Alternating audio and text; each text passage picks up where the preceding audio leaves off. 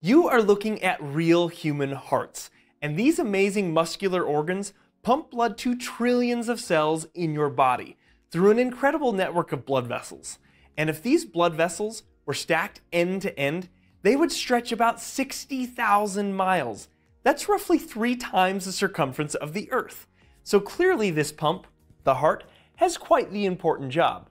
So we should probably do our best to take care of it. But what type of exercise is best for the heart? Ideally, we would incorporate both moderate and high intensity cardio into our routines.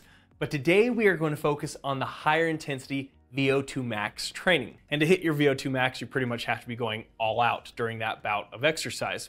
This is influenced by how much oxygen your lungs can bring in, how much your heart and cardiovascular system can deliver to your working skeletal muscles, and even how much of that oxygen those skeletal muscles can extract from the bloodstream and utilize. Now, the proper way to set up a VO2 max training session is to do high intensity intervals that last anywhere from three to five minutes. And with whatever you pick, whether it's three minutes, four minutes, or five minutes, you'll want to do four rounds of that with a one to one work to rest ratio.